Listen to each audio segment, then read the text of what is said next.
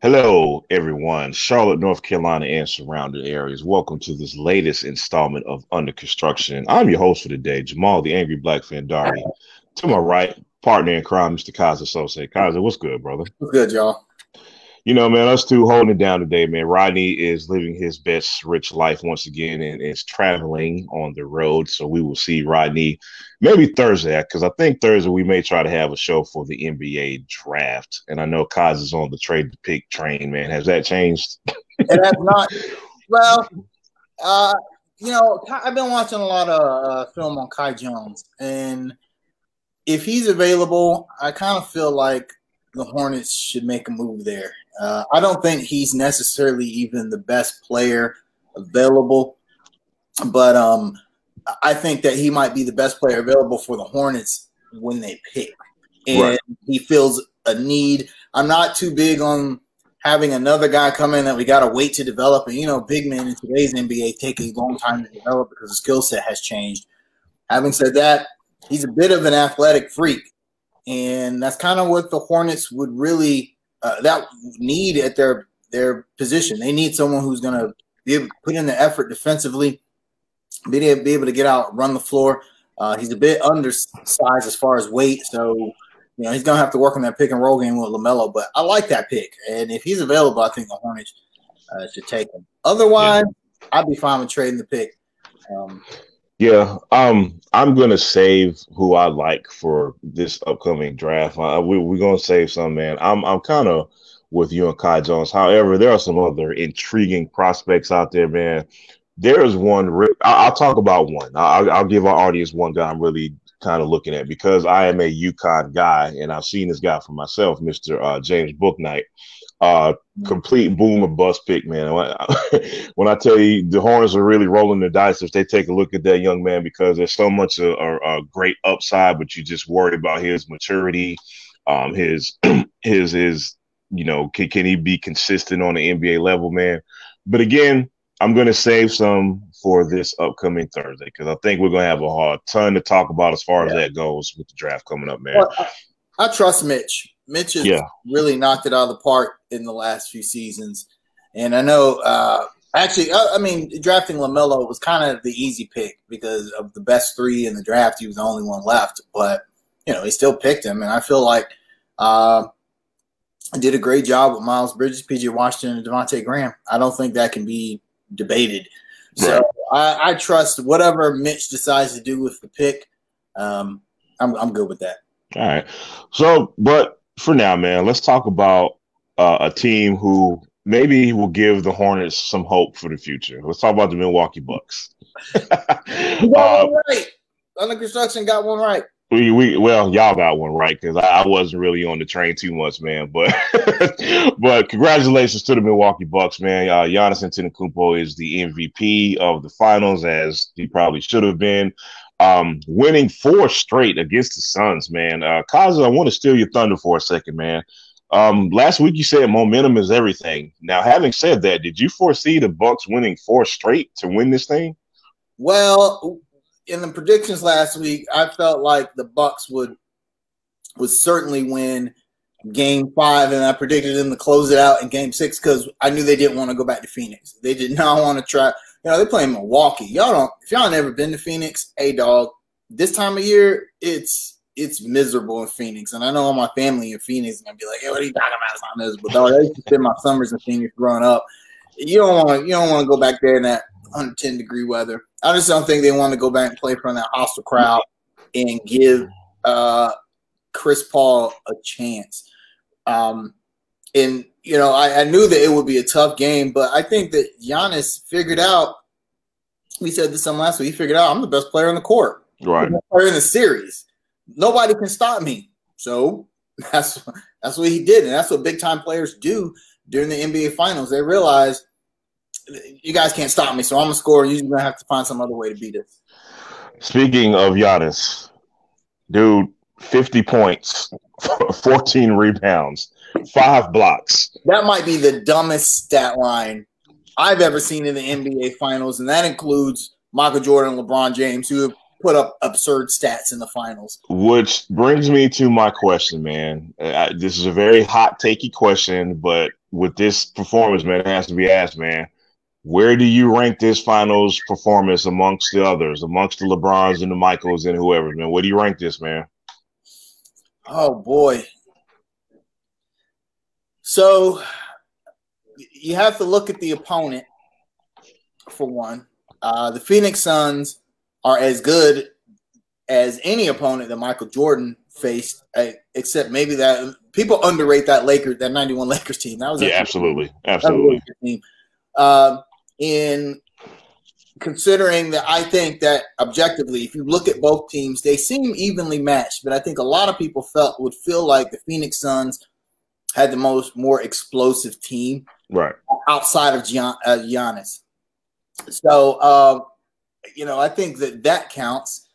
Um, you got you have to put it up there because I mean he really just I mean especially in Game Six where Jrue Holiday and Khris Middleton were pretty average. Yeah, you know, uh, Khris Middleton is that guy that you feel like you can depend on and get a bucket, and he made some clutch shots down the stretch in the fourth quarter, but for the most part that game he was largely forgotten about, which was you know kind of surprising because Giannis decided that he was just going he was just going to get off, and you know the Suns had focused their efforts on him, so that left the floor open for Middleton and, and Jrue Holiday, and um, I, I, got I got to put it up there. I mean, yeah, I, am with you, man. I I'm, I not put a number on it, man, but it is as dominant as I've ever seen, man. And, and I think one thing that people are not going to talk about so much as far as the dominance is on the defensive end. Like you know, fans fans don't. I know defense is not the sexy thing to talk about, but one thing I, I, I noticed in that game, man, like when the Bucks were switching, they switched everything on defense. Nobody could do anything against Giannis. Not the point guards, not the small fours, not nobody. Nobody, nobody. scored on Giannis when he when he when he switched his defensive assignment, man. And then on top of that, he had the five block shots. That is dominance on another level, man. Not just the 50 points is the obvious stat line that obviously jumps out at you, man but stopping everybody in front of your tracks from scoring is something that I think people you know, take it for granted. reminds me of now. I'm not. I don't want to compare DeAndre Ayton to Shaquille O'Neal because that's two vastly different yeah, yeah, yeah. players. Right. But if you remember when Shaq faced off against Hakeem Olajuwon back in the uh, 95-96 finals, uh, you know, Shaq was this upcoming star. He'd only been in the league, what, for three, four seasons. And here he was going up against, you know, a guy who was the league MVP. Um, and yeah, he just got shut down. Just, I mean, it wasn't. Everyone remembers that series between Houston and Orlando, and I mean, Hakeem Olajuwon showed why he was at least at that time probably the best player in the league because Jordan yeah. retired. Absolutely, same thing happened here. DeAndre Ayton had been getting a lot of press for being like, hey, that's an up and coming rising star. Look how much he's contributed to Phoenix success. And he was nowhere near. He didn't even Listen. be on the same court as Giannis. I mean, no, no, no, no, no. DeAndre Ayton might not have been, might not have deserved to be on the floor. Period. He looked lost. He he yeah. looked like a lost puppy out there, man. And, and you know he got in foul trouble, and then Frank Kaminsky had to come in and guard Giannis. I remember thinking, "Oh, that's that's oh, God, what a right disaster." no, but man, DeAndre Ayton, man, I look, man, I don't want to come down too hard on this young man. He's a, he's a young kid, man. He's going to get together. He's going to be a good player. Four for 12, 12 points, man. But he hurt his team. I, I just we got to call a spade a spade, man. He missed a lot of easy buckets, man. He got lost on the defensive end a lot, man. Uh, and again, I just think the moment was a little too big for DeAndre Ayton, and it played a big part in the Suns getting off to such a slow start in that game, which ultimately probably cost him the game. Right. Yeah. Uh, yeah. Yeah. I, I, mean, Phoenix is going to be tough uh, to know where they stand next season. Yeah. Chris Paul's going to be a year older. If if he decides to stay, how uh, is he still going to be as effective as he was? And we talked about this earlier in the playoffs. Health was a major concern throughout the playoffs. This is as deep as Chris Paul has ever gone on a playoff run, right. and he had uh, you know injuries throughout this playoff run. Um, you know, how much would that affect him in the long run? So he's, you know, next season he's not going to have the long break that he that he is accustomed to because he had to play in the NBA Finals, six games. Um, is is the Phoenix Suns going to be a real interesting team uh, next season? Um, Whereas I, I think the Bucks, Bucks uh, may be lined up to be a contender over the next few years. I mean, if if Giannis, if he's finally ascended to what we all figured he, the kind of player, uh, I, he's there. He's there, yeah. bro. then you're gonna have a, a, real, real tough time. I mean, of course, there's Brooklyn, but the Celtics aren't you know as good as as they were a few seasons ago, even though they have a nice young core. Um, it, it's funny you mentioned the Brooklyn Nets. That is foreshadowing. We're going to save that subtopic for. We'll, we'll, get to that. We'll, we'll, we'll get to that because that's a hot hot button topic that we need to tackle, man. But one question I wanted to ask you, man. CP3, man, how much smoke does he deserve? Does he deserve smoke? Does he deserve criticism for for the Suns lo- losing the series? Nah, uh, if if we're talking, if this was like the 2007 CP3, maybe because he was in his you know relative prime or entering his prime then, and um, yeah, you know I, I don't think now. I mean he, the difference he made on the Phoenix Suns this season cannot be understated. They don't make it to the finals without Chris. Without him, right? Yeah, they, they, they just don't. So um, really, I'm going to give most of the smoke for this to guys like like uh like Devin Booker. Uh, Devin, Booker, Devin Booker, eight for twenty-two. Yeah, nineteen points. Uh, and I granted, this was Devin Booker's first time on the big stage, and it may not be his last. Right. But you know that's just a growing pain that you have to go through. You you know some players have to go through that. Devin Booker's always going to remember. I uh, right out you know maybe I'm maybe I'm mean, but whenever a team loses the big game, I always love when they show the loser's reaction. Right. You know, even though it, it stings when like Josh Norman is crying on the bench because the Panthers lost the Super Bowl, but I like to see that kind of stuff actually. and they switch to Devin Booker, and he's just sitting there with his hands on his hips, and he goes, "Damn." You know, I mean, I because he he knew he was that close, and in the NBA, you may never get another chance again. So I think he's going to carry that with him, and this was real good for him. But in this moment of space and time, you know, he just he came up small. And the Bucks had a really good defensive plan on him as well. They, I mean, um, I, look, man, not to toot my own horn, but it goes back to what I was saying. They were switching everything, man, yeah, and they got three guys, not just Giannis, but they got three guys who can lock you up, man. Middleton, Holiday, and Giannis. Look, man, that, those are not three players that, that, that you you're scared to switch everything on. Absolutely, so, yep. yeah. So yeah, congrats to the Bucks. Uh, Hornets fans don't get too excited. I don't think this this signals a switch to this the small market team winning. Uh, this was just, I mean, Giannis is one of the best players in basketball. Um, it was kind of an odd season, a lot of injuries. You really can't discount that.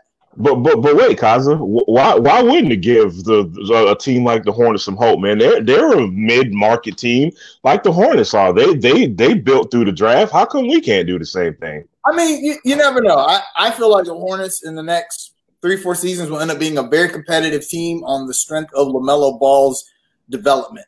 If I mean, I, I you can't you look at LaMelo Ball and you think hmm, future superstar, and if that turns out to be true, then the Hornets will be competitive, and then anything is possible.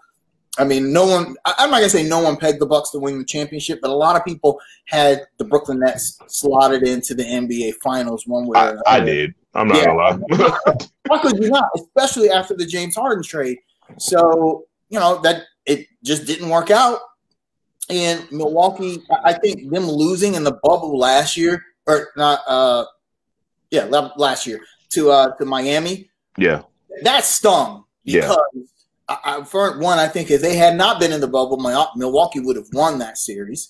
Uh, and I think that that just stung, that stuck with them this whole season because they knew they were the better team.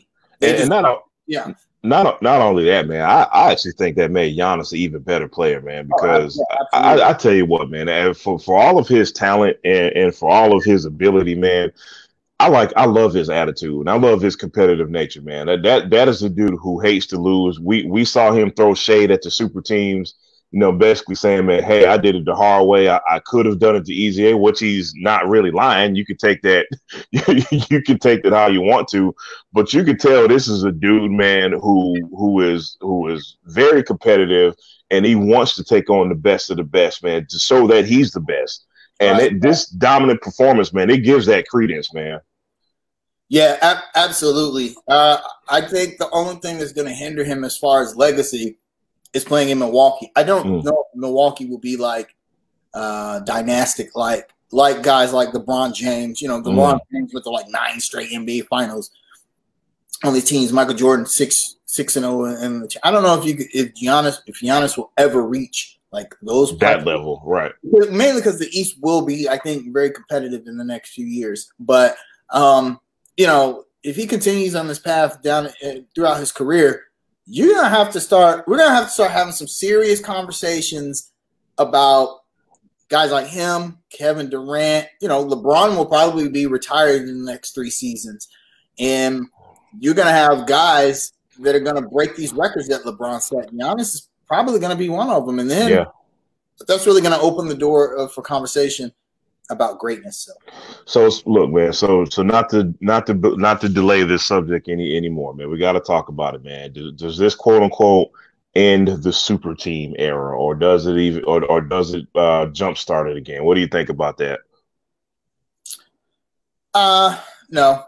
The best way to win an NBA championship is to play with the best players in the league. Right. It's as, it's as simple as that. Um, I think a lot of the players, fans in the league knows that injuries played a part. And I know people say, well, injuries happen every season. And that's true, but these are some significant injuries we're talking about. We talked about this last week. Kawhi Leonard, Anthony Davis, uh, James Harden, Kyrie Irving, uh, Jamal Murray. You're just talking about like like literally the best players in the league were just falling off like flies, and that kind of opened the door for teams like Phoenix and Milwaukee. Yeah. Uh, so I think until you can prove outright the super team method does not work, it's always and and honestly, it does work. You look at, I mean, Golden State was already good, and then they added Kevin Durant. Kevin Durant. I mean, hello. The only time they were beat was when Durant and Klay Thompson were injured in against Toronto. Uh, and then you know, look at the Lakers last season. You know, LeBron James finally gets at the time, Anthony Davis, you could have said he was easily the second best player at the league. You have the, the two best players in the league on the same team. I, I still say Anthony Davis should have won Finals MVP, but don't, don't, don't get me started. So uh, uh, this this season, I'm not going to call it an anomaly because I think there will be other like non super teams that that are competitive, but I don't think they'll ever. Plus, all these elite players, they, they're friends. They like each other. They're not rivals like in the 80s and 90s. Right. Like right. they hang out and play ball during the offseason. They want to play together. Yeah, I look, man. Let, let me take off my objective podcast host hat for a second, and let me put on my fan hat for a minute. I'm actually afraid this is my this may even kind of jumpstart super teams even more.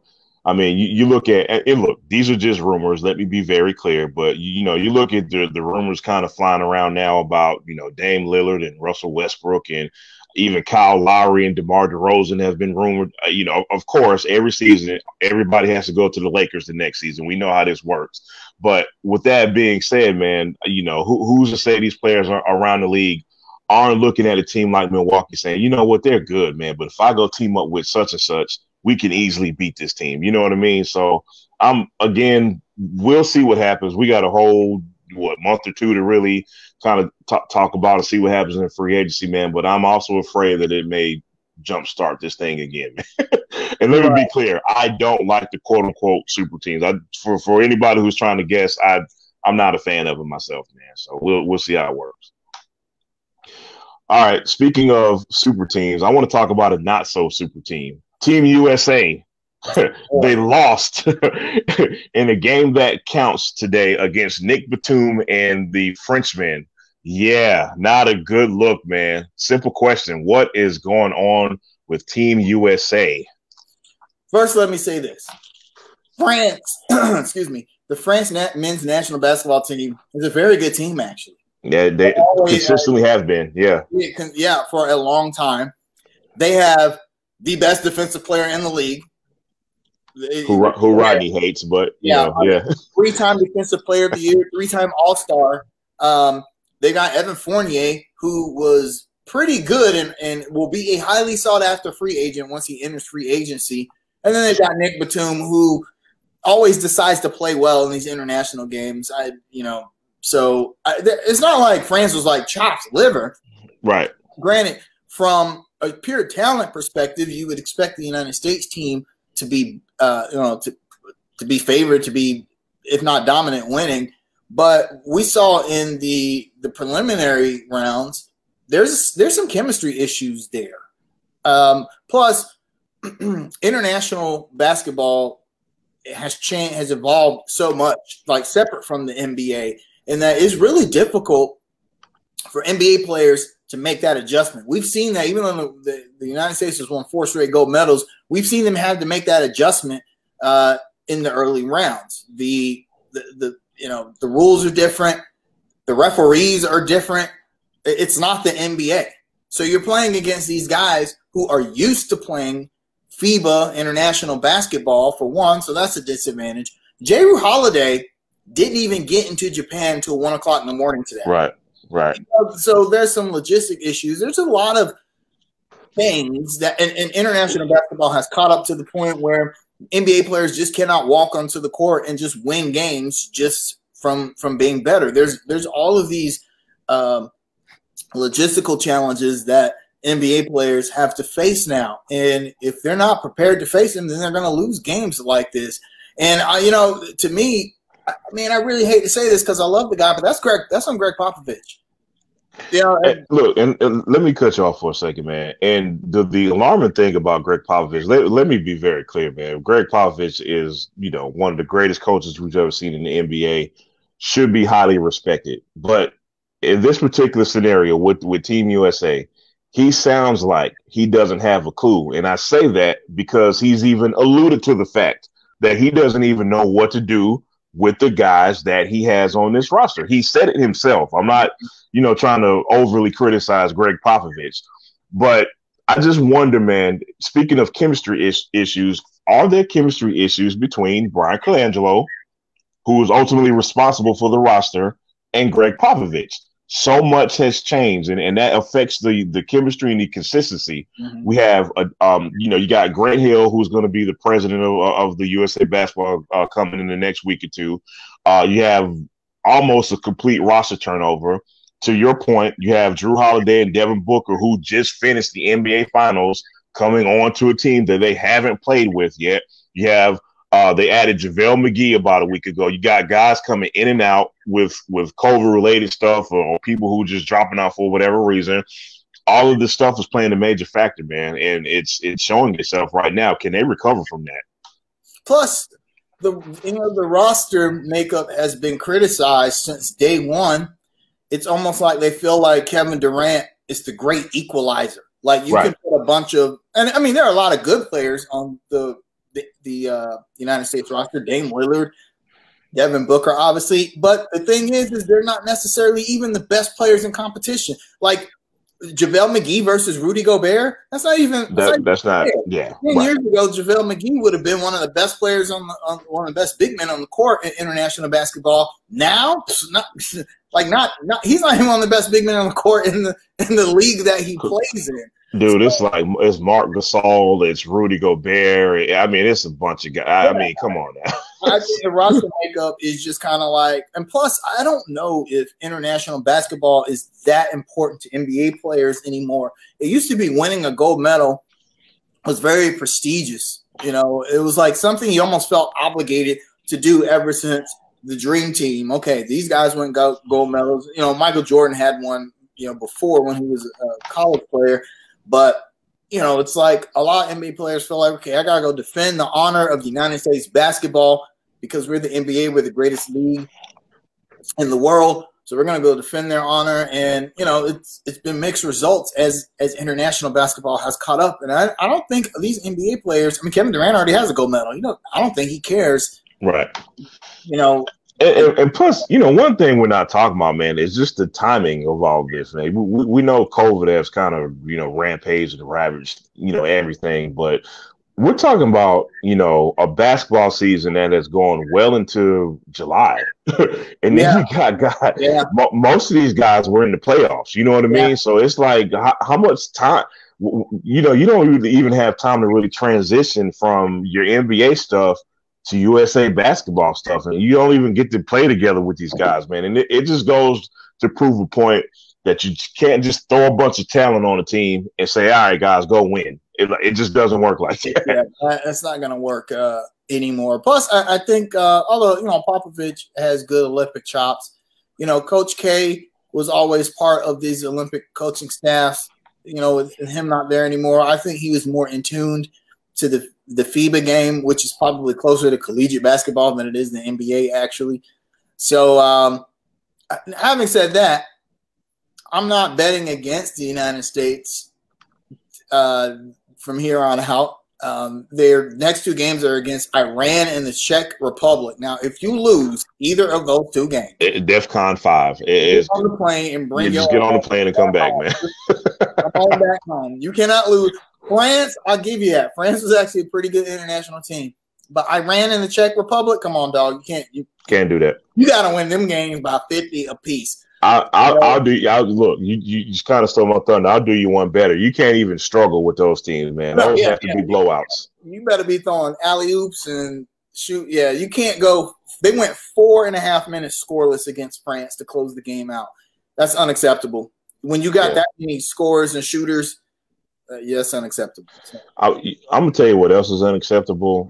NBC wants us wants us to pay to watch this crap. Eh, nope. if that is not a sign of U.S. capitalism, I don't know Wrong, what yeah. is. Wrong answer, NBC. People people care like this much about the Olympics anyway. Uh, yeah, no.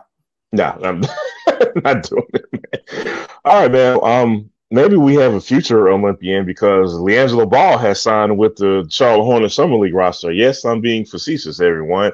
Um, it is made. Uh, LiAngelo Ball is, is, is, has arrived to Charlotte. Man, we saw the pictures of him working out, and there was speculation, but now it is official. Man, LiAngelo will be on the Summer League roster. Man, uh, what are your expectations for Mr. Ball on the Summer League roster?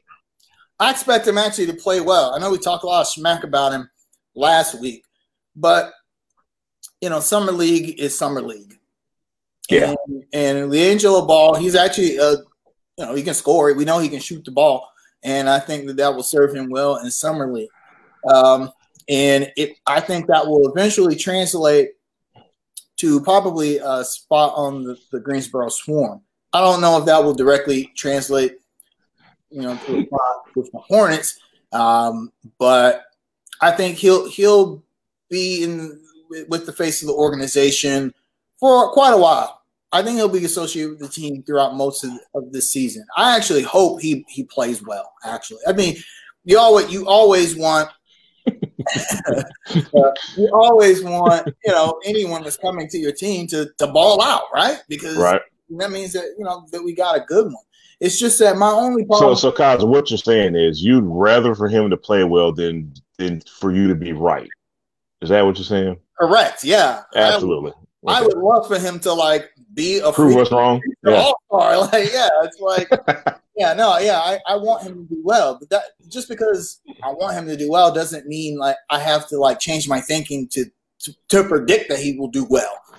Um, right, right, right. My, my only real beef with this whole situation was that the only reason we're looking at him because he's Lamelo Ball's brother. That's it. That's the only reason. And there's this school of thought that well, finally Angelo keeps Lamelo happy and like we said last week, winning keeps LaMelo. Winning keeps him happy, right? So you know, uh, if the Hornets build around LaMelo Ball and build a winning culture and organization, then he'll then he'll stay. And if they fail to do that, then he'll leave, and he should leave. Honestly, if, yeah. if, if the Charlotte Hornets fail to build around the best player they've had in the last two and a half decades, then yeah, he should bounce. And LiAngelo Ball is going to make a difference. If the Hornets suck and LiAngelo Ball is still on the team, then we've we've wasted a roster. it's amateur hour. It is yeah, complete yeah. amateur hour. Mm-hmm. Uh, let me tell you something, man. I, have been looking at, at, at some film of uh, LiAngelo Ball lately, man, and um, you know the, the kid the kid can shoot, man. As as I I, I think Rodney's in the chat, but I, I think uh, what he's alluding to is his athleticism. Now, athleticism is something that can be improved, especially when you're uh, when you're a young player. You know, we've seen him in the gym. I don't know how much he slimmed down. I don't know how much quicker and faster he is, but I'm saying this because this is of dire importance for him to take this next step as far as him, you know, possibly getting on an NBA roster. The kid can't shoot, but the thing that has always concerned not just me, but with scouts with LiAngelo is can he guard the other teams to guard? You know, he was a little heavy. At one point, he was what six five, like two thirty. You know what I mean? Uh, and, and not that a- athletic. Um, summer league is the perfect opportunity for him to show himself. Now, summer league, as me and you know, it hardly matters. We don't make a big deal out of summer league. But for a player like LiAngelo Ball, it is of dire importance to right. shut people like me, like you, and like Rodney up. You know what I mean? He can he can truly show the Hornets and in the world how he can compete at least against the guys who are in the same position as he as he's in. Rodney calls him a stretch too. but I mean, we're we're joking. Power forward, honestly. But the thing we're joking, but it's a legitimate. That's the concerns we had going into this thing. He's a bit of a tweener. Where do you stick him at? Because with his foot speed, you know, it's like who's he gonna guard, man, and who's he gonna post up? Because he's not the fastest guy. Um, I saw something today you know, they were kind of comparing someone like DeMar DeRozan and him. And what I mean by this is you got DeMar DeRozan who's like 6'7", 215, right? You got somebody like him who's like 6'5", 220. What are you going to do with somebody like DeMar DeRozan who has a lot more foot speed than this guy? you know what yeah. I'm saying? It's, it's just an example of how he can he possibly can struggle guarding guys in the NBA. He might be better off finding just a niche. If he can shoot, he can shoot. Now he can't do that. The thing is, is that some players shore up their weaknesses and improve that way. Some players mm-hmm. cannot do that for whatever reason. So what they do is they capitalize on their strengths. To give another brother's example, look at Seth Curry. Seth Curry uh, has always been a great. He was a good shooter in college, but he wasn't good enough at like anything else to make right. a roster. He even he, know, he, still can't guard anybody. But by Golden State uh, you know, and played along Steph, and, and that didn't work out. You know, and he went back and forth between the G League and 10 day contracts in the league before finally he was just like, you know what? I can shoot, and I can shoot better than my brother. You know, he believes that, and even Del Curry has alluded to, hey, Seth might be the best shooter in the family, and now Seth Curry is going to get ten million dollars wherever he goes right. now because that's what he does. Shooting is such a, a, a you know valuable thing in today's league to where he's going to be a starting starting shooter on any NBA team. So it wouldn't surprise me that LiAngelo Ball had that kind of career arc where he's like, okay, hey, I can't guard DeMar DeRozan, but I can shoot. I can shoot lights out. You know, no one's going to want to leave me open, and then he capitalizes off that. It ends up being you know valuable in in the NBA. I guess the question is, you know, can he do what the Hornets need him to do? Right. Uh, look, and and the Hornets definitely could use the shooting. Let, let let's you know we, let, let's be let's be fair about that, man. One question I wanted to ask, man, and this this may sound a little I don't know extra for lack of a better term. Is this do or die for him? Like, is this kind of like a last chance for him? Uh, you know, not not to say that he's had like a ton of chances. He's still a very young man, but you know, is, is this the last chance for him to kind of show show the NBA what he's what he's got? I think so. I mean, teams talk. Right. I mean, they, they do. The, the, trust me, the Charlotte Hornets have talked to the Detroit Pistons about LiAngelo Ball. So they're going to take whatever they say into consideration. They may take it with a grain of salt. And they're going to be looking at for those weaknesses and see if he's improved on some of those things.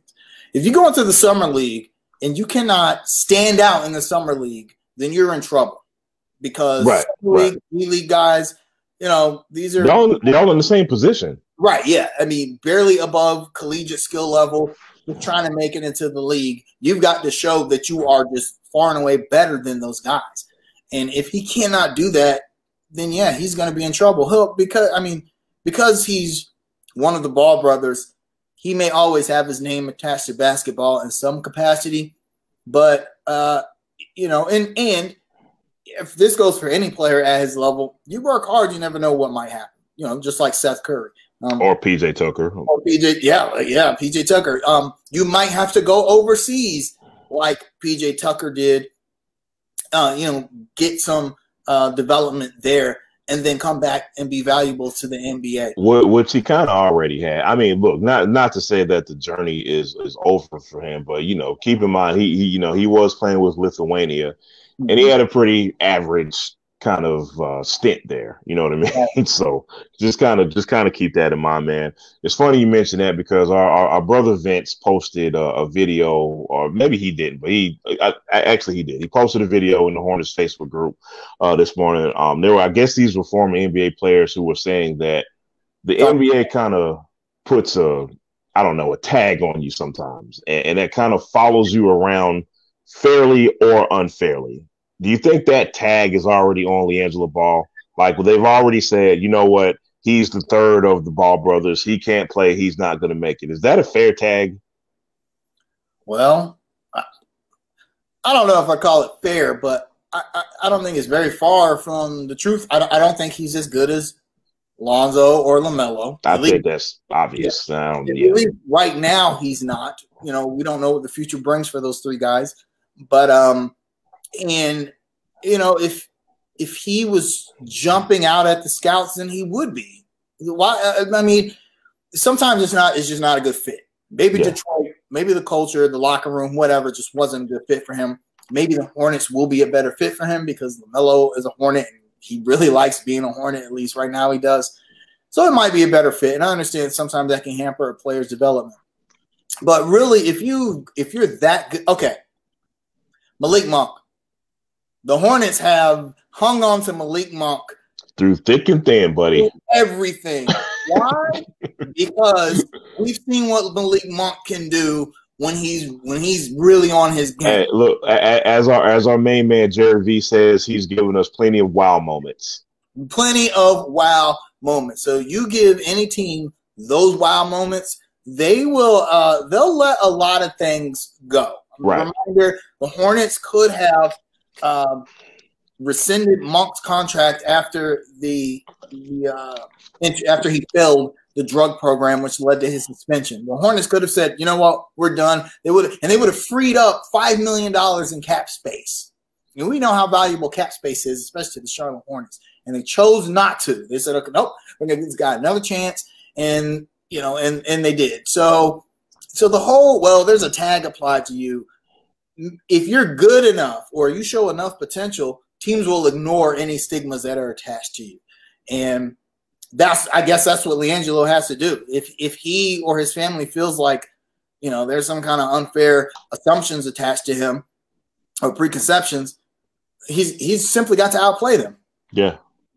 Bottom line we'll see how it goes, man. Um, I'm going to I'm going to inject another subtopic that I didn't warn you about. So, not, and this will be really quick, man. Um, I, I, saw yesterday or a couple of days ago, Jarrett Allen signed a qualifying uh, extension with the uh, Cleveland Cavaliers for seven million dollars, man. Uh, quickly, kind of explain what that may or may not mean to the Charlotte Hornets, and I think you know where I'm going with this. Yeah. So there's been a lot of talk about qualifying offers in the NBA because one of our own players, Monk, is expected to get one. Essentially, what this means is that we don't. If, if you thought the Hornets had a chance at Jarrett Allen, they don't because uh, Cleveland making a, a qualifying offer. That, that makes me sad, by the way. sad, but this, this, qualifying offers and restricted free agency is the NBA's way of trying to achieve parity by allowing teams, particularly small market teams, to keep good players. To keep this is how you keep Jarrett Allen from going to a better up and coming team like the Hornets or to a contender. Um, so this is the same thing's going to happen to Malik Monk. Although I don't think the Hornets will match any offer Monk gets that's above a certain amount.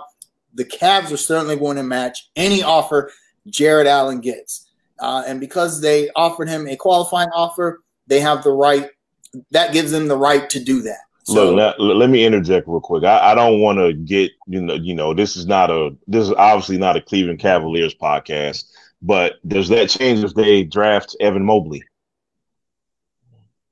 I don't think so. I think you draft Evan Mobley. I mean, who wouldn't want Jarrett Allen and Evan Mobley? Right. Uh, playing together. You, you That's a good problem to have, actually. Yeah, you got to try to make that work.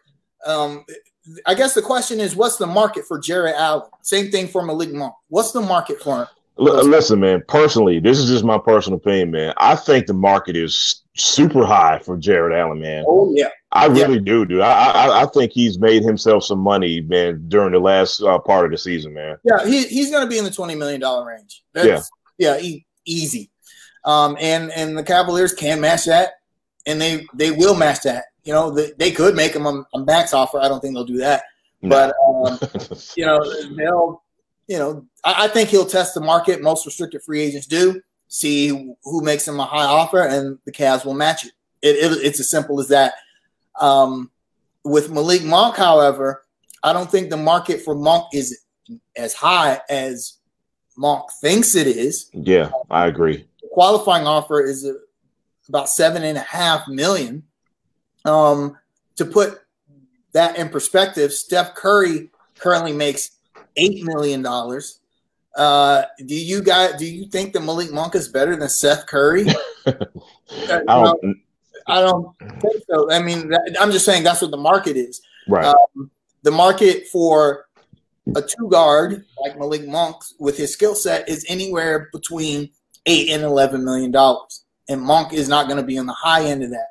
So, uh, really, it'll come down to do the Hornets want to let Monk go? Because if the offer comes in for like eight and a half million, I think the Hornets might match that eight, eight and a half million. I think they should actually, especially if, if they make if they make them a qualifying offer of seven and a half million. Surely they wouldn't mind giving him eight and a half million. But anything yeah. more than that, I think the Hornets might would say, especially if LiAngelo Ball plays well in the summer league.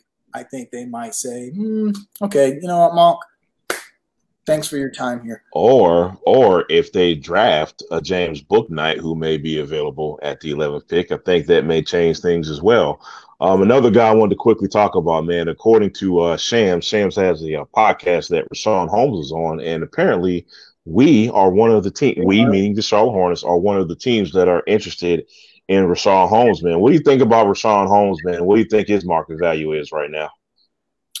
Pretty high. You know, uh, athletic quick big men are also yeah Moses Moody. Moses Moody, he's a hot he's a hot one right now, man. Absolutely. Um, but uh, I, I, think there's a market for guys like Richaun Holmes. Um, I'm glad that the LaMelo effect is working. I think yeah. without LaMelo Ball, he doesn't even mention uh, Charlotte Hornets. But I, I, think that would be man, that would be a great win for the Hornets. Uh, you know, a young talented guy and you know he comes in with the already young talented core i think they would do a lot of of really really good things um, let, me, uh, let me let me give you my very quick synopsis of, of Richaun Holmes man and this is this is more of a nitpick than it is a real concern Richaun Holmes he's not the he's not a super big guy he's not the he's not the super big guy that clogs the paint so to speak However, what he makes up for it is with his athleticism, and he is a shot blocker, and he is extremely active. As far as a fit for the Hornets, and when I say fit, I mean someone who is just perfect offensively and what we need defensively. I think he's the perfect fit. He may not be the the guy that that that's going to clog up the paint like a Steven Adams or, or or kind of redirect uh, an opposing offense like I kind of would would want my center to be. But he does make up for it, you know, with his shot blocking and athleticism, man. I think if we could pull a Richaun Holmes off, man, that would be a big win for us this offseason. Definitely. Hornets instantly competitive. Uh, you know, if they're if they're able to grab player like him. And, and, and, fans, don't be surprised if we have to overpay for somebody like if Just just get your complaining yeah. out of the way right now because it's coming. They're probably going to have to overpay. Fortunately, the Hornets have a lot of cap space uh, this season, it, despite the fact that Nic Batum is still on the books, which is is kind of crazy. Right. Also, I think that you know, although they may end up trading the pick. Uh, you know, if you're able to land Richaun Holmes and you keep the pick, that gives you a lot more leeway. It gives yeah. you a lot more leeway what you want to do with your Malik Monk, Devonte' Graham situation. It it just kind of opens up doors because that's a hole that you filled. So, and man, speaking of that, man, you know what? You just made me think about something, man. The, the Devonte' Graham situation is something that we haven't really talked about a whole lot. You know what I mean? I just, I just wonder what's his value and what do you, what do you think his chances of uh, of returning to the Hornets are? I don't think the Hornets let him go. They're going to match whatever offer he makes, whatever offer team makes him. I think that Devonte' is probably in the 10 to 12 million dollar range. He's a point guard that can shoot and get hot, shoot the three. Um, his deficiencies are defensive, and he cannot score on the inside. He will probably shore one of those two up this summer. Um, I think a lot of teams are going to be look, a, a, backup point guard. Also, this might be the, the biggest thing about Devonte' Graham.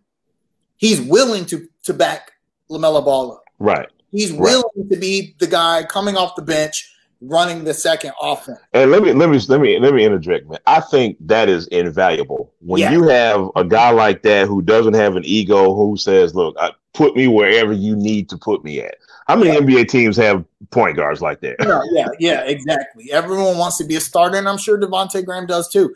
But I think he realizes, hey, this is my role on the on this team, and this team gave me gave him a chance. You know, uh, you know, he was a second round pick that was in the G League for a, a season. So um, I mean, it, none of that matters because the Hornets really have to decide whether they want to keep him and matching whatever offer he makes. But I think they will. I think if it comes down to Monk and Graham, they'll match any offers made to uh, Devonte' Graham and let Malik Monk uh, go in free agency. Yeah. Um, I'll, finish this topic off with one of our with, with one of our own guys as well, man. Cody Zeller was quoted as saying when as I approach free agency, I do not want to be a guy that sits at the end of the bench looking for a championship. What do you make of that? And how hmm. does that relate to us? Boy, that's a interesting quote from Cody Zeller. Right. Um, I think he just he's saying, "Hey, I want to contribute like I know I can." We talked about this weird relationship between Cody Zeller and James Borrego. Just just very very strange. I, I, think it may it might come down to uh, we've said this before. JB is a very matchup oriented guy. If he feels like that's not a good matchup for Cody, then Cody's not going to play. I don't think Cody likes that. I think he likes the challenge of you know of going up against guys like Giannis. Yeah, that's not a good matchup for Cody. But hey, when they played, hey, Cody he competes, got, man. He, he competes. the best dunks of the season on Giannis. Uh, so, you know, I think he feels like, hey, you got to got to give me a chance, and, and Coach JB is not going to give me a chance. He doesn't want to go somewhere else and be regulated to, you know, just a, a matchup guy. Right, right, so, right, right. He wants a full time role, and I, I, he he knows he's probably not a starter. But right. what that says to me is that he wants to play. He he does not want to just be a cheerleader. He wants to contribute wherever he's going. Now, I thought that may be a good sign for the Hornets because I've always maintained I would not mind keeping him as a backup as long as you right. have your starter entrenched. If you have a Richaun Holmes and you keep a Cody as a backup, I would be all for that. But with that being said, man, you know, you make a great point with his relationship with with Borrego. And it's been so I don't want to say tumultuous, but it is strange. You know what I mean? And, and we, we see stretches of games where Cody doesn't play. You'll see 10 games where he plays when he just doesn't play right. at all. Then you'll see another stretch where he's like the starter. And I, I don't think he likes that at all, man. I think if he goes to let's say a team like a Portland where he can come off the bench and be a full time uh, uh, bench guy, come, come six man or whatever you want to call it. Think that'll be the perfect fit for somebody like Cody Zeller. Yeah, I agree. Uh, I think that. Plus, I mean, sometimes players' time just comes and goes on the yeah. team. His time yeah. as a Hornet has come and gone. Um, it was interesting. yeah, no doubt. While it lasted, and I think the Hornets. You know, we've got Vernon Carey uh, and Nick Richards. Uh, I'm hoping those guys will take a development step this summer. Right. And, you know, if we end up picking up a Richaun Holmes, I think that makes the decision very, very easy um, to just let Cody go into free agency without making him a, an offer. You make a good point, man, because as much as fans have been clamoring for the almighty um, Vernon Carey, hey, Chris, if you're out there, um, and Nick Richards, man, I, I, I want to make it clear for this podcast, man. We want to see these young guys succeed, man, but we we also need to see that they're ready. And this in this offseason is going to be interesting because we don't have, you know, the COVID offseason that we had last season. We're going to have a summer league. We're going to have a full training camp.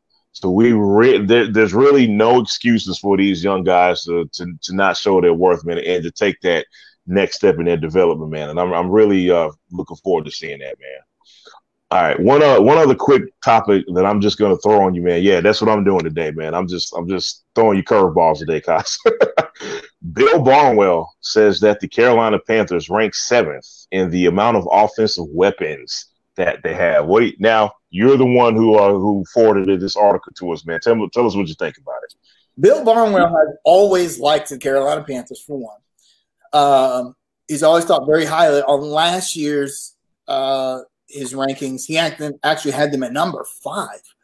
Um, I don't think he's too far off here. Yeah, I was going to say, should we really be surprised at that? Seriously, yeah, I mean, offense. I don't think the the Panthers' problem were one the defense was just really really bad uh, last season, but offensively it was just you know they just couldn't get it together. You know, you had a new coach, new offensive coordinator. You had this weird quarterback situation to um, say the least. right. Christian McCaffrey spent most of the season injured. Um, I think that next season, barring injury, the Panthers offense is going to be hell to deal with. I mean, DJ Moore, Robbie Anderson, looks like they're, they're probably going to keep both of those guys. uh, you know, then you got um, we re-signed uh, Taylor Moton. Uh, we picked up some offensive linemen in the draft. Um, Christian McCaffrey's going to be back healthy. Uh, Sam Darnold is the big question mark. You, you, you stole my question, but go ahead, bro. I mean, if, if, he's serviceable, then you know the offense is not going to be as much as a problem. Uh, if he's trash, then off and, and that's that's the only question I had about Barnwell's ranking. It's like, does he really think Sam Darnold? Because uh, Teddy Bridgewater came into the season with a lot more uh, uh, of a good narrative from the media. Right. Sam Darnold does. A lot of people felt like Teddy Bridgewater just didn't get a chance in Minnesota, mainly you know due to injury. Every, they loved him when he was in New Orleans, and like, man, look at what he did when Drew Brees was injured. Um, so a lot of people felt like Teddy Bridgewater to the Panthers was a great thing, um, except for those of us at under construction because we knew. but uh, but Sam Darnold is not coming to the Panthers with that kind of you know goodwill. A lot of people are like, "Yeah, Sam Darnold, uh, okay, uh, we'll see." Right. So, um, yeah. Um. I actually, when I looked, when I saw this list, man, without, I didn't look at the rest of it. I said, "How come we're not higher?" I, I, I honestly, I said that, man, but I didn't even, I didn't know we were including quarterbacks in this situation. So I kind of think they got the rankings right, man.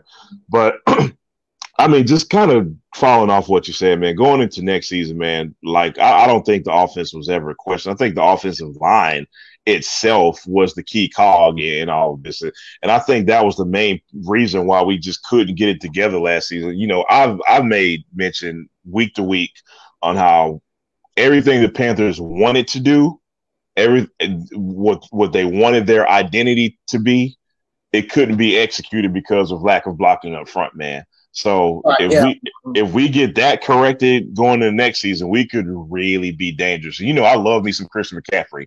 That is that is my boy, and I, I he could really really break out if we if we show those offensive line problems up, man. So I'm pretty excited going into this season. By the way, man, preseason football two weeks away. Hey, that's crazy, right? Right. hey, Speak, speaking of football, man, we're up against time, man. So I'm gonna squeeze in this topic really quickly, man. Apparently, the city may not have enough money for David Tepper and Vi Lyles' new stadium, man. Can you believe it? What do you think? what do you think about that? Okay, the city has never had enough money. They never had enough money. um, it, it, it's funny too because they're like, well, you know, we're, we're we, we decided we're going to put money into the arts. Yeah, right. Like Charlotte, yeah, right. Stop it. Into, and like they've ever used that as an excuse for anything. So, um, but the city says they don't have enough money from, um, you know, their tourism and hospitality funds to build a new stadium, and I'm sure they don't. So that's that's just a way of saying. Wait a minute. So you mean to tell me all that money that Rich Carlton took from black people is, yeah. is not gonna yeah. not gonna be enough money? I'm, I'm sorry. Let's yep. let's move sorry. on. Go ahead. But uh, this is their way. The city's done this before, and they don't want the uh, the onus of a new stadium to be on the city planners. They want it to be on the taxpayers. This is exactly what they did with the Spectrum Center. They said let, let, let's let's be let's be clear and let's be fair. David Tepper wants the money to come from. well, yeah, Tepper doesn't care where the money comes from as long as it's not his bank account. Pretty much. So it could either come from the city or the taxpayers, and the city, the city could find a way to to fund that, but. They did this with what was then Time Warner Arena, in which they said, "Oh, we don't have the money, so we'll just let the taxpayers vote on whether they want to pay a, a tax on it." And the taxpayers said, said no. no. and they did it anyway. They built it anyway, which means you guys you always had the money. The so so with, so with that being said, doesn't this just look like a bunch of just grandstanding oh, again? Yeah, yeah, definitely. Just just sit at the table and hammer out a deal and and build a, a, a stadium. I, I would I would do this though if I'm the city. I would really hold Tepper's feet to the fire on this.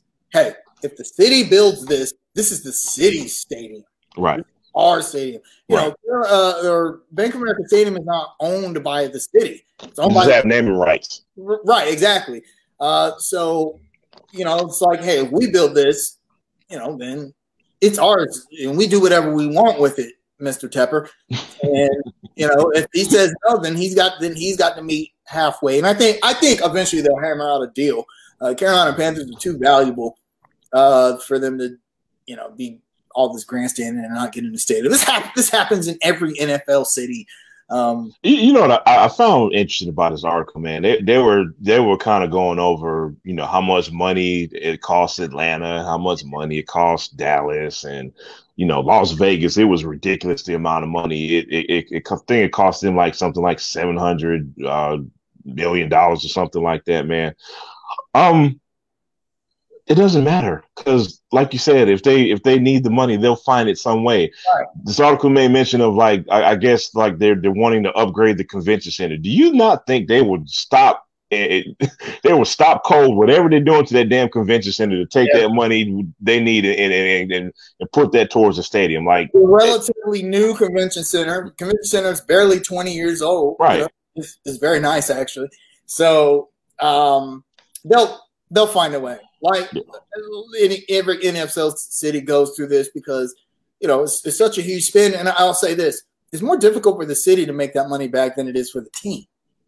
Um, if you build a billion dollar stadium, if you're an NFL team, if you're an NFL team, your return on investment in that is what a few seasons, maybe. Right. right. So, so uh, you know, within ten years, the stadium's paid for and insured. I think it might take longer than that for the city to be able to make back uh, that ROI. Um, yeah, imagine going to ML, MLS. You know, I, I will say this: Atlanta has kind of set the standard for MLS. Uh, Don't think David Tepper ain't looking either. Yeah, exactly. He's a looking. So. Yeah. All right, man. We we're up against time, man. I, am gonna ask you a very quick question before we get to shout outs. Are you listening to Kanye West's new album or not? Are you interested? You know, I'm a huge Kanye West fan. I did not know that. I, yeah, this is something new I've learned about you today. I feel like he's one of the few rap artists in history to come out the gate with like three straight classics, like him, Ice Cube, Nas. Yep.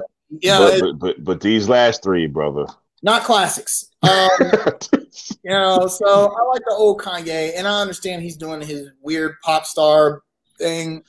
I don't know, man. I mean, I'll probably. I mean, I have streaming services, so I'll give it a cursory listen. Right. You know. You got any shout outs today, brother? Uh, let me get a. let me give. A, I'm gonna give a quick shout out to Carolina Hurricanes fans. Um, They're, y'all are freaking. I ain't gonna say y'all, but the people who really follow the Hurricanes are freaking out, man. Freaking out. The Hurricanes traded away uh their goalie, a, a prospect. He's one of the top prospects when the Hurricanes drafted him. Spent some time with the with the Checkers, the Charlotte Checkers, developing, uh, and then came to the Hurricanes and and you know played pretty well. He looked like he was going to be like the Hurricanes goalie of the future, and they traded him to the Detroit Red Wings. My thing is this: throughout the entire season, Canes fans I've always said, man, goaltending is an issue. Our goaltending rotation is not where it needs to be. So the Hurricanes trade away the problem, and now it's a now it's a problem again. It's like, it's like hold up, y'all was talking about uh, you know. It's just that the fans are and the fans are really split. Some people are like, you know, good. Ned needed to go. Some people are like, oh, I can't believe we we traded away our future. It just goes to show, really, you know, how polarizing some of these things uh, can be right. fans. So, and and the thing is, is the Hurricanes are relatively successful compared to like the Hornets. You know, the Hurricanes have a championship. Um, they had a you know a, a period of time where they weren't that good, but now they're a perennial playoff team again, and the fans still hate them. So go figure. There you have it. All right, no shout outs to me, man. Shout out to Rodney. See you next week, man. Shout out to everybody in the chat room once again, man. Please like, share, and subscribe. We always appreciate y'all when you're in the chat next week. It makes our job a lot easier.